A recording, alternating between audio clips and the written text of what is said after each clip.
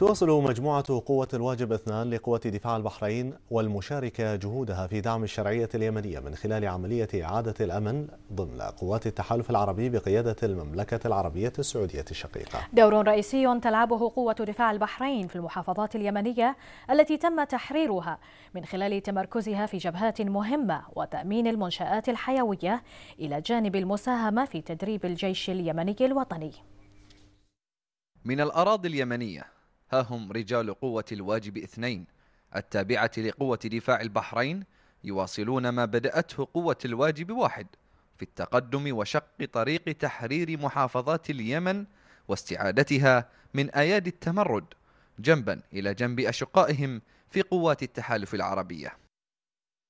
طبعا يأتي دور قوة الواجب الخاصة اثنين حاليا في محافظة عدن هو مشاركة قوة التحالف في التخطيط وتنفيذ العمليات التعبوية المختلفة لإنجاحها ومن ثم تحقيق الأمن الداخلي في المحافظات التي يتم تحريرها من قبل قوات التحالف. كذلك تم تطهير وفتح ممرات للقوات من خلال إزالة الألقام التي زرعها أو زرعتها ميليشيات الحوثي والمخلوع علي عبد الله صالح. المساهمة على جبهات القتال في القتال مع أخواننا وأشقائنا في القوات المشتركة على كافة المحاور والجبهات.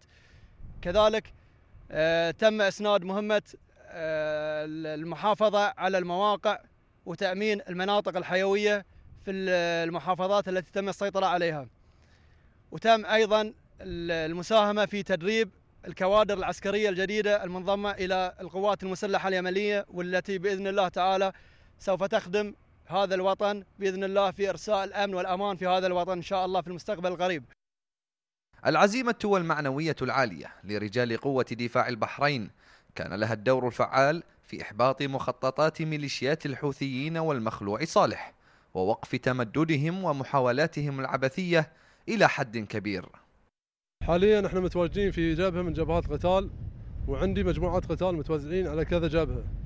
وناخذ اوامر وتعليمات من قيادتنا لتنفيذ المهمات المطلوبة ضد ميليشيات الحوثي والمخلوع صالح. إحنا الآن في أحد محاور جبهات القتال الأمامية صفا إلى صف مع إخواننا من قوات التحالف المشتركة لتأمين ما تم تحريره من المناطق وقواتنا على اهب الاستعدادات لأي مهمة تطلب منها في حينه. مقبلين لا مدبرين، هاماتهم عالية ورؤوسهم شامخة لا تهزها ريح عاتية. هؤلاء هم بواسل قوة الواجب اثنين يرابطون على كافة المحاور والجبهات بكل إخلاص وبقوة مانعة ضاربة تجعل من عناصر العدو حائرة حتى يحبط الله شر ما صنعوا. ملحمة إعادة الأمل في اليمن لم ترفع أقلامها بعد ولن ترفع حتى تبلغ أهدافها. فقوات التحالف العربية لا زالت تسطر إنجازاتها وانتصاراتها دعما للشرعية اليمنية ونصرة للشعب اليمني الشقيق ولقوة دفاع البحرين دور بطولي في ذلك. بسام نبدوي لمركز الأخبار في تلفزيون البحرين عدن.